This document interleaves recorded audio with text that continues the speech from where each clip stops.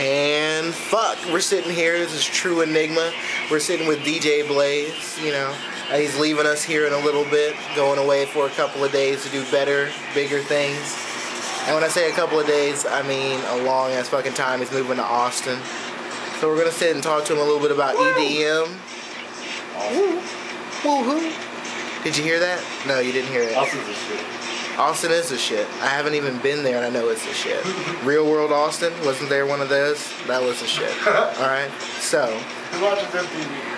I don't even watch MTV. But that guy, this, This guy guy, DJ Blazzed. Look, we're already like 30 seconds in and you're learning shit about this guy.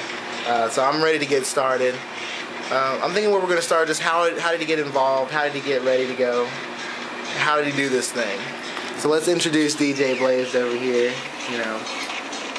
So go ahead and tell us, where, where did you first get into EDM? When did you first step foot into that world?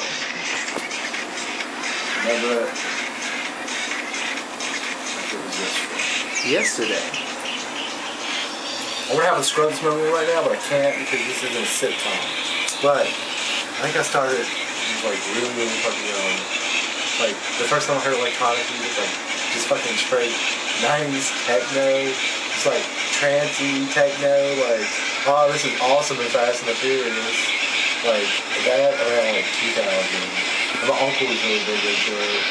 He liked to party and bring it up and tell me about all this shit. And I'm like, what? That sounds incredible. That sounds like the shit to do. So I started doing that early on, and like this past year, Texas has been not this past year, but like a couple years before, a couple years ago. That's what I say it. Texas has been having like these big badass raves, like massive, that you don't usually see in California because there's been a ban in Texas. Now, like, how many people go to these raves? Like, what, are you, what would you say the, the best anywhere, number? anywhere from like ten, Right. not massive. They range about like five to thirty. thousand. Five to thirty thousand. like like a legitimate like backyard rave. Like Uh-huh. somebody threw up their house in like East Texas.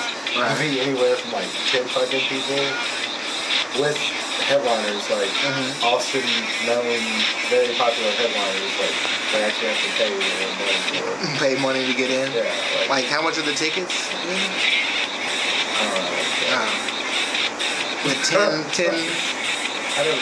I I say I want to say that one was like ten. It was Alright. called the Nexus Music Festival. The Nexus. So, uh, yeah, well, there was a lot of people I'd seen, like, around that time. It was, really it was really hard to find.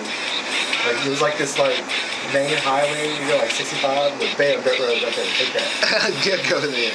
There's a little street light right there. It's like a fucking night light. Like, the fuck. But it was pretty chill. Like, it was cool. Was there was a good vibe? Yeah, it was literally out of the house. Like they sold a section in the front of the house, and they had a back patio. So like, literally, uh, was a house party on the wall. That was just cool. But And actually, we actually know that Blazzed here has just gotten booked for Love Step, which hopefully I'm gonna make. True Enigma's gonna try to make an appearance, but he's gonna tell us a little bit about that and what he's gonna be doing because it's supposed to be really big, five stages. What I hear? five stages. And I gotta tell you the best part about one stuff. Best part. I think you're ready. Oh, am I, I'm always ready. I think I was born ready. I think I came out of my mother's womb and there was a little stand that said ready there. So go ahead. All right, Now now our- 512 Entertainment. 512 is helping out the show. Gustavo is setting it up. He always sets up badass shows. There's a lot of crews like from Houston and all these other crews from Houston and Austin that are setting up this show called Love Step, five stage master. But that's not the best part. The best part is it's free. Like it's fucking free. It's a five stage event. Fucking free. Like I can't express how free that is. Like it's so free, they almost pay you to go. Like it's that free. That's awesome. They don't actually pay you to go. So And I love free shit. I got you. Gotta say, who doesn't love free shit? I I, don't love free shit. everybody should love free shit. I if you love don't free love shit, free shit, especially if it's blonde. yeah. But you gotta say, I'm more of a brunette fan myself, but I love free shit. free shit just works. Just you free shit. All right. Yeah, it's a free event. You just go on Facebook, look for Love Step, L-U-V Step. Or how to spell Step. You just don't feel like doing it. What date is it? When is it happening? Same day as Future Fest. You know how lame, like, come on guys, Massive Intent, all right, woohoo, they're going for the scene. But they need to step up their party, like production, like big time. They'll bring a lot of people out. They don't make a, a lot of promises they keep. So this is thrown by a crew that is all about the music. Not just one crew, a bunch of crews. Rocky the House too. Mm-hmm. They're the same way. I'm sure all of these crews and crews. I'm not saying anyone. I know people try to take this down context. They're gonna get me, nigga. You gotta get that shit. I'm a gangster. Not really. I think Don't he tell actually- anyone. yeah, we're supposed to keep that on the. Yeah, we just tell people that. supposed to keep that on the DL. We you tell them that, they usually leave us alone. undercover cop shit. But it's all about the music, it's all about the party, it's all about the life, it's all about the love, it's all about killing the crowd, it's all about everything that is good about this scene. There's some bads and everything. Yeah, I gotta say that sometimes the word called love stuff. Yeah, love. It's all about the love of being there, being surrounded by the people that love the same thing and just sharing that connection. The We- crowd and the DJ. Do let everybody know about PLUR? What that means? I know it sounds funny. But knows about it. Everybody knows about. Like you probably Peace, are. love, You, unity, and respect. Probably Now don't even have watch them, it?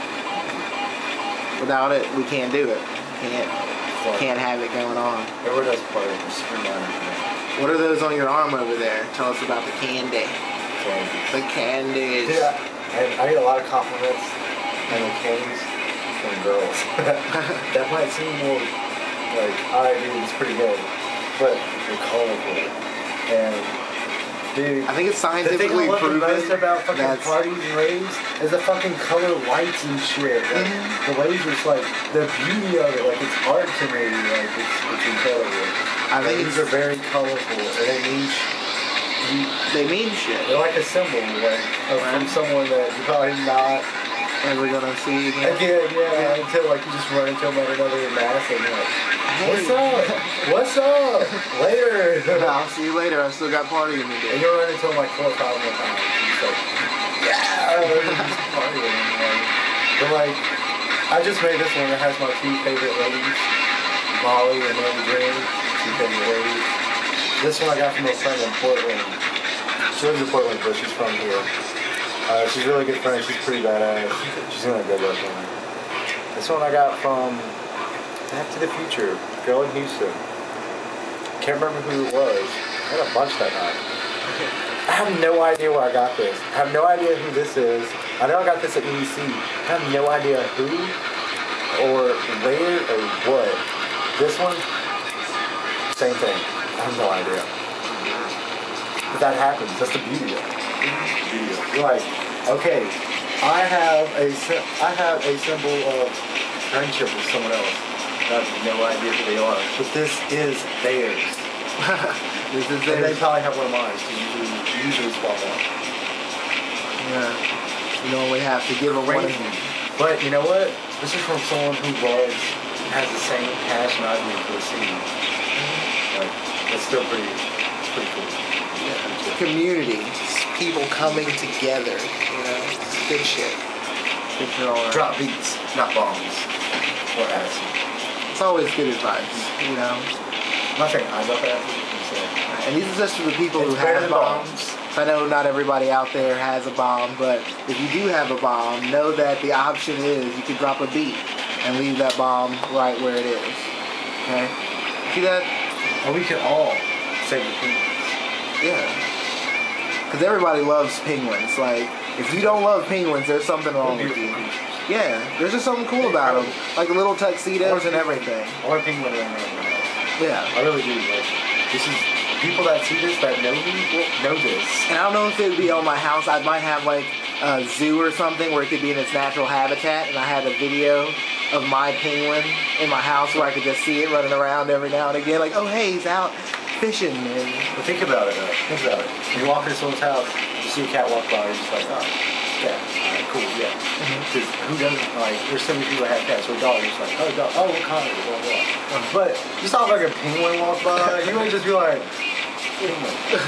And there's a penguin. There's a fucking penguin. now, do you put a leash on a penguin or? Fuck that, man. No, you just let him out house. Just like chill out. Have this trained and shit. like doing tricks. Hell yeah, Have, like, a little island But you'd have to you'd have to have a pretty cool house, right? Like a pretty chilled out, Pretty spacious. spacious things, you know. Like they, I they like the slide a lot, so Like I don't. This is how really bad I really opinion. I don't research on all the things you have to own in. Mhm. You gotta have like, I think it's FDA or something like that. Approved habitats. They have to be fed every day. You cannot. You have to care for them every day. Or have some care for them every day. They're like they're like children basically. But you gotta have an expensive ass habitat. It has to be up to regulation. Blah blah. And it has to be bred in the United States. It has to be bred at a zoo. Mm. Well, guys, we're, we are running out of time here. You know, we don't have a lot left. So we're going to leave you with a few words of uh, wisdom from Blazzed here. Just something to leave you out on, you know. So you guys have a good night. This is True Enigma signing out. Last words you hear will be from DJ Blazzed. I'll be, I'll be over there slow. I'm gonna be over there slow. Um, Flirt, Mary J,